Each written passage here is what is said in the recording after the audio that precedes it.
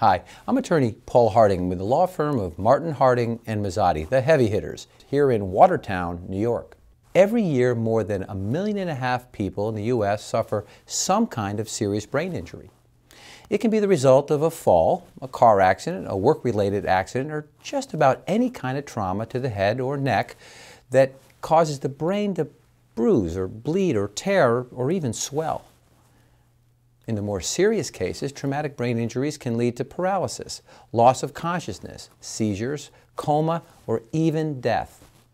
And the degree of injury isn't always apparent. Sometimes telltale symptoms like drowsiness, confusion, numbness, and vision or hearing loss take time to materialize. In fact, it's possible to suffer from a traumatic brain injury and initially only experience mild complications.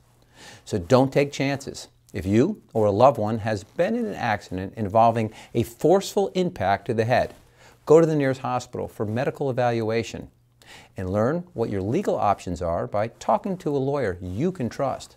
Call 1 800 Law 1010 for a free, no obligation case evaluation or visit us online for more information at 1 800 Law 1010.com.